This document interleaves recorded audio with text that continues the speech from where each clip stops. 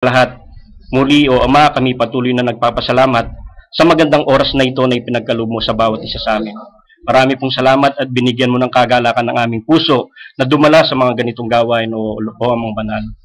Tunay na napakadakila ninyo sapagkat ah, lahat po ipinoprovide nyo sa amin. Walang nagiging hindrance upang kami po'y makapakinig ng inyong banal na salita. Hiningi po namin, nagabayan nyo ang inyong gagamitin ngayon, O Ma, ang inyong, inyong abang lingkod, nawa kayo po ang makita sa likod ng pulpiting ito at gawin nyo lamang po akong daluyan ng inyong mga banal na salita. Hiningi po namin ang inyong proteksyon sa apat na sulok ng sambahayang ito, Ama, na wala pong paraan na makagambala ang kalaban at makapagpatuloy po kaming sumamba ah, sa inyong banal na harapan. Malami pong salamat muli. Ito po ang aming samot panalangin sa tanging pangalan ng aming Panginoong Yesus. Amen. Praise God. Buksan po natin ang ating Biblia sa Luke chapter 8. Luke chapter 8, uh, verse uh, 50.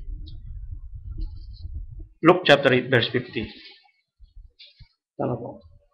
Sabi po rito, But when Jesus heard it, he answered him, saying, Fear not, believe only, and she shall be made whole. Praise God. Mari na po tayong upo. Ang Diyos ang balang magpala sa mga salitang nabasa. Praise God. Ah, ang exhortation po ay pinamagatang only believe. Sa pamagat pa lang po, only believe. Alam po natin. Praise God. Ang Ganda po ng awitin, ano? I waited so long, but I saw I was wrong in not loving you. Diba? Bakit noon pa? Bakit hin bakit bakit nagtagal pa no? Kung, pero pero meron tayong mang Diyos eh. Sabi eh, ta- kaya nga ah, sabi niya, I waited so long but I see you belong deep down in my heart.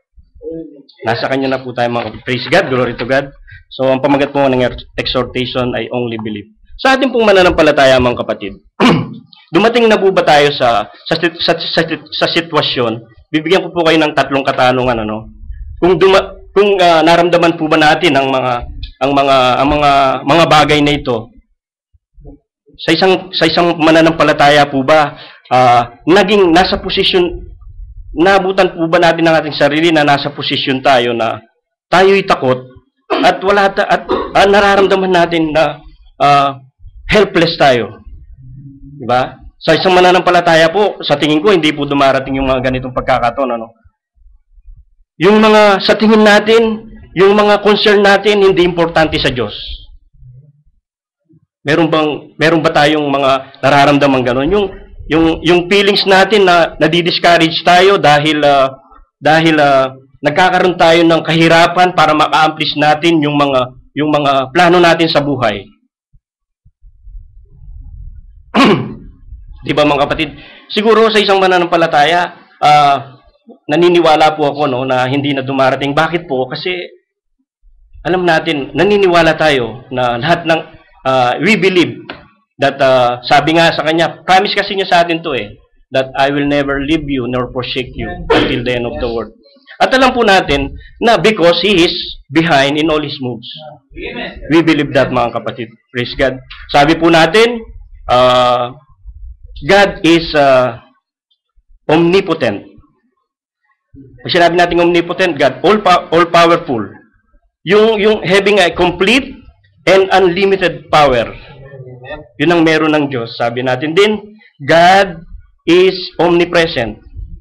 Omnipresent because He is all-knowing God. He is omniscient with infinite awareness and unlimited knowledge. Di ba? Di ba natin nakikita mga kapatid, imagine, kung yung Diyos na sinasamba natin ganito, yung karelasyon natin ganito. Ganito, powerful, unlimited, di ba? Alam niya na lahat. Ano bang, ano bang, ma, only believe. Paniwalaan mo na, kasi, powerful, all-knowing, alam niya na, hindi pa sinasabi, alam niya na. Di ba? Omniscient, omnipresent. Ito yung karelasyon nating Diyos. Kaya wala tayong dapat pangamba. Sabi nga eh, kanina, di ba? Ba't ka pa matatakot kung alam mo ang Diyos ay nasa sayo? Praise God. Kung lubos lang nating maunawaan na itong Diyos nating sinasamba, ang karelasyon natin ay, ah, ay ganito, wala ka nang gagawin kung sumunod na lang sa kanyang sa kanyang will, di ba? Kasi susunod ka lang, lahat ito magkakaroon ka nito eh. You have the power, di ba? Yung yung bang uh, yung kaya niyang ibigay sa iyo unimaginable. Di ba? so, wala na tayo sigurong gagawin kundi sumunod na lang sa kanya. Sabi nga ng ating Panginoon, ang aking pagkain ay sundin ang kalooban ng aking Ama. Amen. Di ba, nakakagalak na ganun din tayo na sundin ang kalooban ng ating Ama.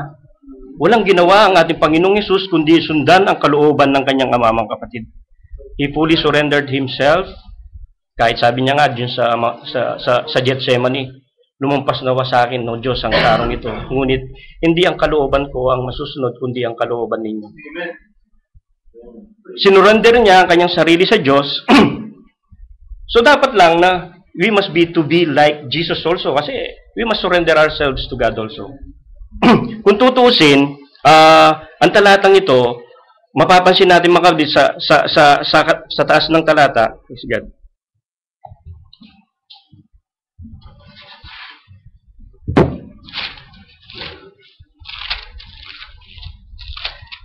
Marami nang ginawa ang ating Panginoong Yesus.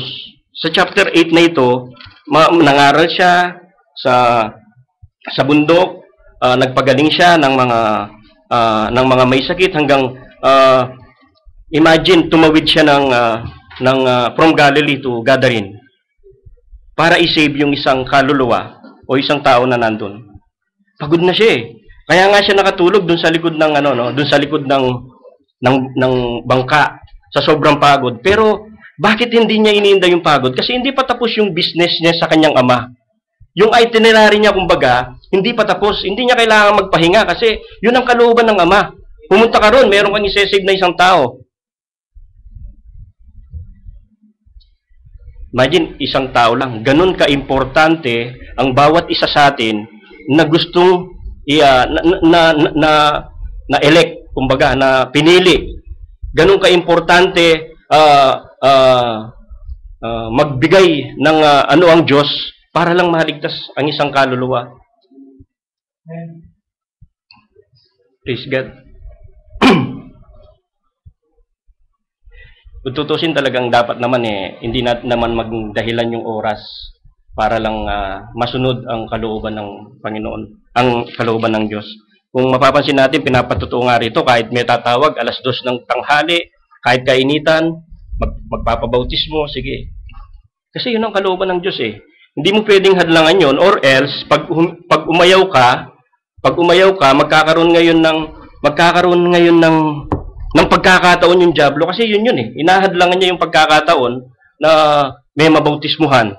So, nagkakaroon siya ng, ng opportunity. Gaya rin ng nangyari dun sa bangka No? Imagine kung gaano ka-importante yung tao, pati yung Diablo talagang pinoprevent ang Panginoong Hesus na makalipat. Di ba? Ganun tayo ka-importante. Kahit i-prevent ng kahit i-prevent ng Diablo ang ang ang hangarin ng isang tao para maligtas tayo, hihigitan niyo ng Diyos. Para maligtas lang tayo. Ganun tayo ka-importante sa kanya mga kapatid. Umunos, pero hindi. Peace be still. Sabi nga nung ano, what manner of man is this? Amen. Di ba? Pati yung mga alo na tanghangin ay uh, dumi, sa kanya. Kung yung hangin, kinrate niya, sumusunod sa kanya, di ba niya tayo kinrate din? Di ba dapat din tayong sumunod sa kanya, mga kapatid? Praise God. Kasi, today na napaka-importante ng oras sa isang mananampalataya. Kung, kung hindi nga lang itong katawan na napapagod na to eh, sa sharing nga napakasarap. Kaya kagabi talagang ayaw ko pang umuwi. Talagang, kaya lang talagang yung katawang ito mga kapatid eh. Minsan nga, pinapatutuo ng ating kapatid dito kahit alas dos yata ng madaling araw pag may tumawag ng pabaptize. Go. Di ba? Kasi kailangan hindi tayo masumpungan na idol ng ating Panginoong Yesus. Gaya ng exhortation nung, ay nung message nung nakaraan, this is the last minute worker. Dapat kung last minute worker na to, wala nang makikitang idol ang ating Panginoong Yesus. Pag, pagdating niya, wala na siyang makikitang idol. Kasi nasa end time, nasa end, nasa huli, last minute na nga lang, hindi na hindi na 11 hindi na 11th hour. Praise God. nung tumawid siya, ang hangarin niya i-save yung uh, manyak, manyak dun sa Gadara, yung nasasaniban ng legions of of demons. Napoposes siya ng legions of demons. So ito actually nagkaroon ng issue sa sa city of Gadarene ano. Kasi sa Bible sinasabi city. Praise God.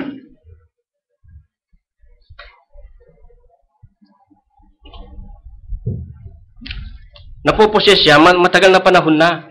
Ngayon ito, uh, kahit tanikala, kahit fetter, talagang pinapatid niya dahil dun sa napoposes sa kanya. So pinababayaan na lang siya, itinataboy siya ng demonyo dun sa dun sa dun sa libingan ano. So imagine kung gaano kalakas. Papatirin niya yung tanikala mga kapatid. Nagkakaroon ng issue ito kung titi kasi sumisigaw siya eh.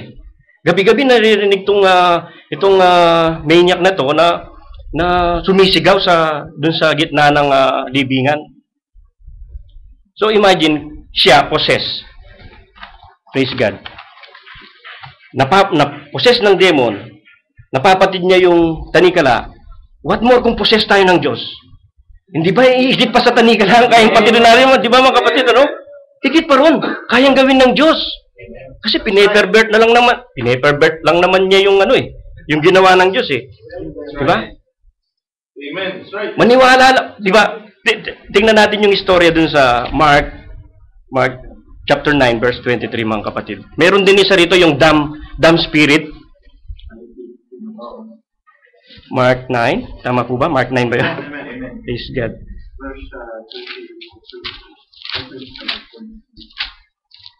Mark 9. Verse 23, tama. Itong manyak na to, actually nagkaroon ng magkaroon ng pagtatalo dito kasi hindi napapaalis ng mga ng mga disciples yung eh, lumalapit lumalapit itong ama nung nung anak, batang ito lumalapit sa mga disipulo ng ating Panginoong Yesus ay lumal, yung disipulo ng ating Panginoong Yesus sa kanya lang lumalapit upang pagilingin siya. Nagkaroon ng pagtatalo kasi hindi siya mapagaling ng mga kanyang sabi nga kayong maliliit na pananampalataya sabi niya di ba kaya hanggang kailan ko kayo pagtitisan tama ba yun tapos uh, sa tagpong ito gusto ko lang itong emphasize sabi kasi ng ating Panginoong Yesus nung uh, pinalapit siya sa kanya, Jesus said unto him, sabi niya doon sa tatay niya, If thou canst believe, all things are possible to him that believe. Anong ginawa ng tatay niya? Sumigaw siya. And straightway, the father of the child cried out and said with tears, Lord, I believe, help thou mine unbelief. Diba mga kapatid? Ito, uh, naniniwala siya na na in the first place, hindi, supposed to be, hindi niya na kailangan pumunta pa sa ating Panginoong Yesus. Una, pumunta siya sa mga disciples para pagalingin siya, pero nagkaroon ng pagtatalo dahil hindi nga mapagaling hanggang sa pumunta, ang ating Panginoon, pumunta siya sa ating Panginoong Yesus at napagaling niya. Napagaling siya dahil naniwala siya sa sinabi ng ating Panginoong Yesus. And straightway, he cried out, mga kapatid. so, so, pagdating na pagdating, ng ating Panginoong Yesus dun sa gathering, pagkatawid na pagkatawid, pagbaba, sinalubong kaagad siya nung ano eh, nung uh, nung sinasaniban ng uh, ng uh, Diablo. Buti nga itong Diablo nakakakilala eh, sabi niya eh. Sana, sana, pasahin nga po natin mga kapatid. Praise God.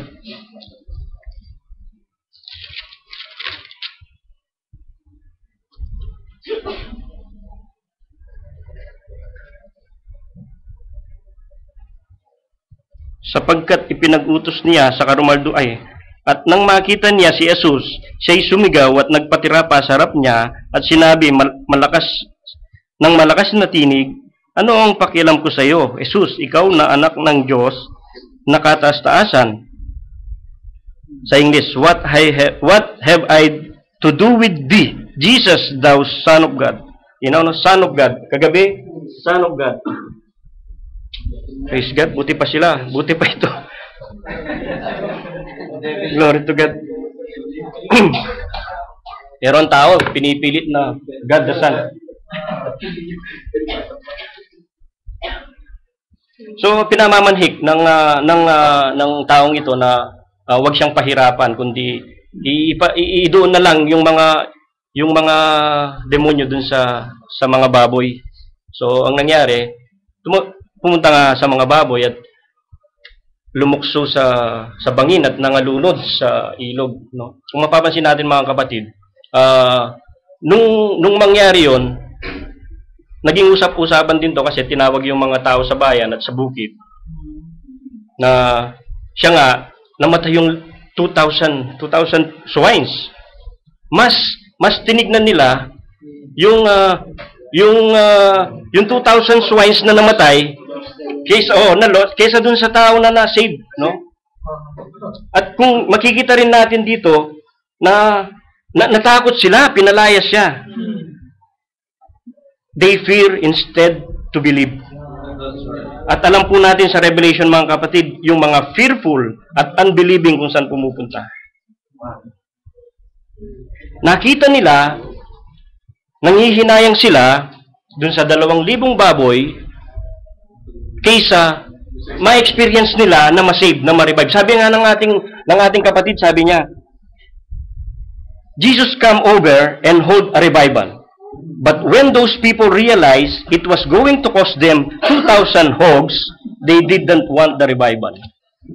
Di ba? Nung ma-realize nila, actually, uh, ang ganda nito, no? tinitipo niya lang, kaya ayaw ng revival ngayon ng tao, ayaw hiwanan yung mga mahalagang bagay na tinatangkilik nila. Kaya ayaw nila ng revival, ayaw nilang iwanan yung mga bagay na humahad lang para tanggapin nilang salita ng Diyos. Marahil, uh, kung tatanggapin ko yung salita, baka hindi na ako makapunta sa beer house. Na, di ba yung mga ganon? Ayaw nilang iwanan yung mga bagay, yung mga mahalagang bagay na sa tingin nila nagpapasiya sa kanila kaysa ma-save yung kaluluwa nila. Ang ganda. Jesus come over and hold a revival. But when the, those people realized it was going to cost them 2,000 hogs, they didn't want the revival. Ganon din sa panahon natin ngayon mga kapatid. Ayaw iwanan yung katuruan. Ayaw iwanan yung kahon. Ayaw nila ng revival. Ah, kasi hindi nila maiwan yun. Maiwan-iwan yun. Kaya nga sabi nung ano eh, actually, they were given the opportunity to believe that He is the Messiah. That is the sign. Kasi, di ba, naniniwala sila sa mga signs eh, and yet, they did not believe. Kaya nga nung nung pagkatapos na pagkatapos na mahil yung ano, yung uh, yung uh, sinasaniban ng demonyo, sumasama siya eh. Kaso ang sabi niya, uh, huwag kang sumama. Sabi sa verse 39,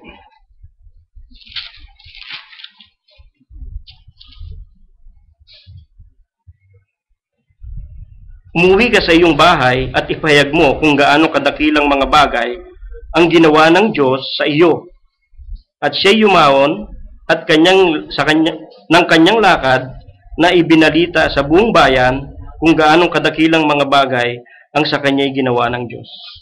Actually, dito sa tagpong ito, gusto ng ating Panginoong Yesus, humayo ka at, at ipahayag mo ang dakilang bagay na ginawa sa iyo ng Diyos. Pero dun sa ibang talata, siya, meron din siya sinasabing, huwag mong ipagsabi, di ba, yung kay, kay Jairus, yung anak ni Jairus.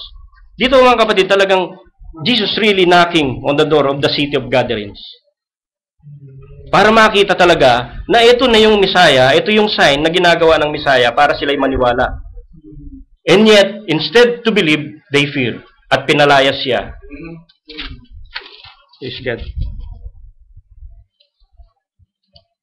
Isa pa, naalala ko dati, merong na-share ang ating kapatid dito regarding dito eh. Yung kaya legions of demons pala yung nasa kanya. Kung dati ka nang may ginagawa at bumalik, nakatanggap ka na, bumalik ka, bumalik ka doon, mas marami pa ang sasanib sa'yo. Parang ganun yung, yung na, ano ko, no. So, naposes siya ng, imagine how, at what point, bakit 2,000 legions of demons pa yung, yung pumunta sa kanya? Anong nangyari? Di ba mga kapatid? Fully surrendered siya. Kasi 2,000 legions of demon to eh. So pag possess ka, you are fully surrendered.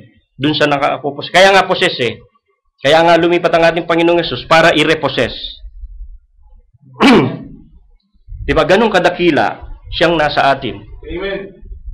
Kaysa nasa sanglibutan. Amen. Kung napoposes ka ah, ng 2,000 ng 2,000 demons, imagine paro nangyari sa iyon. Ibalik rin natin yung sitwasyon mga kapatid. Bakit na ito poses ito ng 2,000 ano?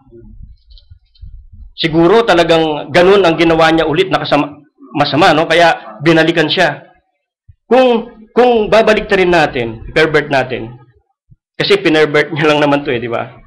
Ah, if it takes me to do the will of God, or do what pleases God, to be able for Him to possess me. Di ba dapat ganun tayo mga kapatid, di ba? Kung ano yung gina- bakit na-possess siya ng demon dahil sa masamang gawa, bakit hindi natin isipin ngayon, paano tayo ma-possess ng Diyos? Amen. Kahit na itong tanikala, pwede nating, pwede nating ah, patirin. And imagine, nagsasalita yung demons sa bibig ng tao. Di ba maganda yun, no? Ang Diyos nagsasalita sa pamamagitan natin. Kung if we only fully surrendered, kung yung will niya ang gagawin natin, if we do what pleases God, Amen. Amen. posibleng, posibleng i-possess niya tayo at magsalita siya sa pamamagitan natin. Amen. Di ba mga kapatid? Praise God. Praise God. Amen. So, yun nga no na ah, pagkatapos imagine, yun lang yung business ng ating Panginoong Yesus dun sa gathering. After that business, lumipat na siya, bumalik na siya sa Galilee at hinihintay siya ng mga tao.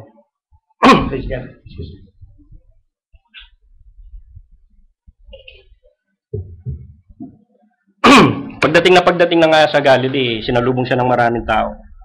At ah, si Jairus, sa talatang ito, si Jairus, sinalubong din siya at ah, magpatira pa sa kanya at yung anak niya is on the point of death na at ah, umihingi siya ng kagalingan dun sa bata. Imagine, sabi ng ating kapatid, si Jairus daw is secret believer. Kasi actually, hindi naman hindi naman na hindi naman siya pupunta kung hindi siya na hindi siya naniniwala eh. From time to time na nagpapagaling ating Panginoong Yesus at merong time din na nagtuturo sa sinagoga kasi synagogue leader of ru- ruler of the synagogue ito eh. At alam natin yung mga ruler of synagogue is in good relationship with the Pharisees. Ito yata yung mga tagapamahala doon sa order. Ganun ba yun? No? Yung sa order ng sinagoga. Parang mga deacon, ano? Yung ino-order nila yung physical nung arrangement nung, ah, ng, ng synagogue. So imagine how deep relationship Jairus with the Pharisees. So, ah, marahil si Jairus, sabi nga ng ating kapatid eh, secret believer siya, nakakarinig na ito ng mga turo at saka mga aral ng ating Panginoong Yesus. Pero ayaw niya lang ilantad. Kasi meron siyang pina, meron siyang meron pang pumipigil sa kanya kasi baka baka maano siya, ma-excommunicate, ganon. So, siyempre alam natin no na ah, ang mga pariseo talagang gumagawa ng paraan para para mahuli lang ang ating Panginoong Yesus. At kung kung si Jairus makita ng mga ng mga pariseo na naniniwala sa kanya, i-excommunicate siya. Mawawala na lahat yung yung ah, yung katungkulan niya dun sa dun sa sinagoga. Siguro naalala ko yung ano eh, yung yung yung bulag, yung yung pinagaling ng ating Panginoon sa sa Full of Siloam. Sa tingin ko nung panahon na yon, nung nung nung ah, sinasakdal yung ano, yung bulag na yon, Parang ko na nandun si ano eh, nakikita niya kung paano paano kadakilang gawa nagmanifest ah, ang mga gawa ng ating Panginoong Yesus eh. Kaya unti-unti sa tingin ko, ano ko lang naman to mga kapatid. Kasi sabi nga ng ating kapatid, secret believer siya eh. Hindi naman basta-basta ah, ngayon niya lang nalaman, kung hindi niya nakita yung mga dakilang gawa, eh ah, kaya naniniwala siya kasi alam niya yung mga signs. Nagpapagaling siya, yung mga pangangaral niya, palagay ko, binabasa niya yung mga scriptures, na ito nga talaga yung Messiah.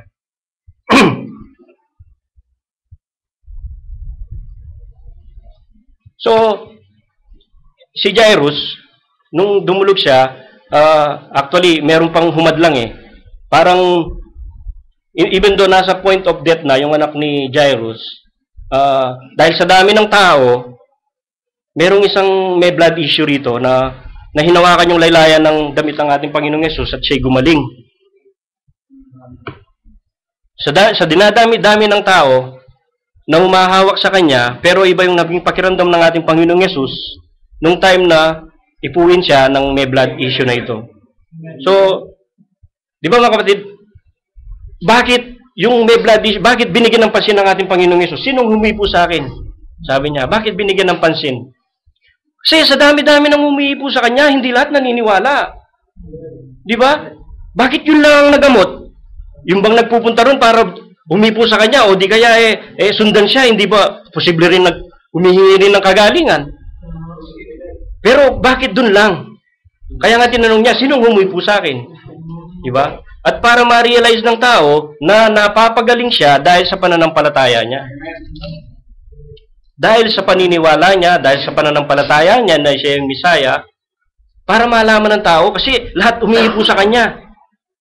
Pero hindi ganun ang paniniwala at pananampalataya na taglay ng may blood issue na to. Imagine, it, it cost him, yung lahat ng kanyang tinatangkilik na ubos. Ba't kailangan pang maubos ang lahat ng ating tinatangkilik kung pwede na tayong dumulog sa Diyos? Di ba? At hingin ang ating kagalingan. So, ini-emphasize lang dito na pinagaling ka ng iyong pananampalataya. Uma. Nang, nang, ninenervous pa nga eh dahil hinahanap ng ating Panginoong Yesus eh. Ninenervous pa siya eh. Ayaw niya talagang ano, kaya lang talagang na, na, na, na, na, nasukol na siya. Kaya sinabi niya, ako yung ano, pinagaling ka ng iyong anak, pinagaling ka ng iyong pananampalataya. Praise God.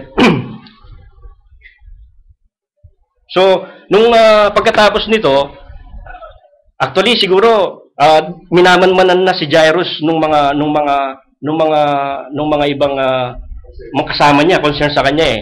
Kasi sa tagpong ito nung nung nung uh, pagkatapos na mapagaling niya yung may blood issue, merong pumunta na sa kanyang bahay, galing sa kanyang bahay at binabalita napatay na yung anak mo, wag mo nang wag mo nang gambalahin yung yung ating guro. Patay na ang yung anak. So, Bago siya umalis siguro ng bahay, sa tingin ko lang, dinadramatize ko lang mga kapatid. Pinagmamasdan na siya. Pupunta ako. Doon sa sinasabing Jesus na Misaya, alam ko mapapagaling niya yung anak ko. So, tinetestify niya na, naniniwala siya na, na mapapagaling ng ating Panginoong Jesus yung kanyang anak. Marahil sinasabi ng mga kasama niya, hindi, Beelzebub yun. Huwag kang pupunta ron, ganito, ganito. So, minaman man siya hanggang sa pumunta siya, kung hindi siya secret believer, bakit alam niya kung nandun, kung saan nandun ang ating Panginoong Yesus nung time na yun? At yung mga nasa bahay niya, bakit alam alam na puntahan siya dun sa lugar na yun kung hindi siya minamanmanan? So, nakikita rito na parang pinipigilan siya. Parang pinipigilan siya, pero hindi. He stand firm dahil alam niya na, na naniniwala siya na siya yung Misaya at mapapagaling niya yung kanyang anak kahit mawala na yung kanyang uh, yung kanyang pagka-ruler of the synagogue, binitawan niya. Di ba dapat ganun din ang gawin ng manggagawa ngayon, mga kapatid? Tanggalin nila yung mga yung mga bagay na nakakahadlang para ibahagi yung katotohanan ng salita ng Diyos. The church is dying, sabi ni uh, ng ating kapatid dito sa point na ito. Bakit bakit hintayin mo pa na na mapunta dun sa point na mamamatay na yung church bago mo bitawan yung mga bagay na nakakahadlang para ituro mo yung katotohanan ng salita ng Diyos. Praise God. Yung mga hindrance, kailangan maalis. Now is the time, mga kapatid. Uh, pag nakita, pag nakasumbong ka ba ng mabuti, hindi ba nararapat na grab mo na yung opportunity? We are on the last minute last minute worker. Huwag na nating hintayin yung bukas pag nakasumpong tayo ng mabuti encouragement na alam na natin itong katotohanan ng salita ng Diyos. Tanggapin na natin at sampalatayanan. At kung ano yung first step, gawin na natin. Is God. Remove all hindrance. Tanggalin natin yung mga bagay na nakakahadlang para paniwalaan natin at sampat, sal, sal, sam, sampata, sampalatayanan ang mga salita ng Diyos. Siya lang ang may salita ng buhay. Praise God. Sabi, when you prosper, kasi ganito yung status ni ano eh. Pag nagpa-prosper ka, you overlook God. Kasi parang wala ka nang kailangan eh. Nagpa-prosper ka eh. When you feel important, parang nagiging importing, importanting tao ka na, you forget God. Kasi importante kang tao eh. When we are happy, we forget God. When we are in sorrow, actually hindi lang happy, even in sorrow. Sabi niya, may problema ako, inom tayo. Para makalimutan ko. Instead, to believe God and to to pray for God, to to uh, ma- para humingi ng tulong sa Diyos, o hihingi ng tulong dun sa anak. Even happy and sorrow, we forget God. Di ba mga kapatid? When are we going to realize that we need God? Ba't pa natin hihintayin yun? Sabi nga dun sa kanta kanina, I've waited so long and I saw I was wrong in not loving you. Praise God. It took me some years and some pain and some that you pulled me through. Amen. I've waited so long, but I saw I was deep down in my heart. And I wonder why I didn't love you from the start. Di ba mga kapatid, di ba nakakapaghinayang yung mga panahon na inubos natin sa sanglibutan? Bakit hindi natin ibinigay noon sa Diyos, mga kapatid? Praise God. so, from the word itself, only believe.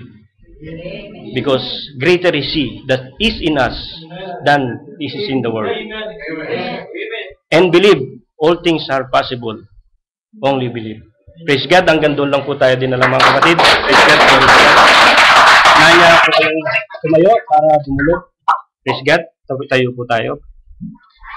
Praise God, dakilang Ama, makapangyarihan ka sa lahat. Marami pong salamat sa mga nakalipas na oras na kayo po ang patuloy na gumabay at pumanubay sa mga salitang uh, mabibitawan sa likod ng pulpito, O Ama.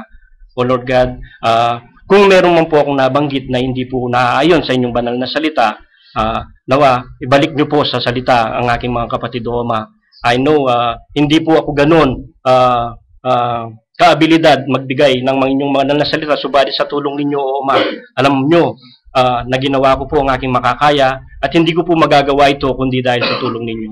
Marami pong salamat muli, tinatagubilin po namin ang mga lalalabi pa pong oras ng gawain ito. Kayo po ang patuloy na gumabay at pumatnubay. Ito po ang aming samot panalangin sa tanging pangalan ng aming Panginoong Yesus. Amen.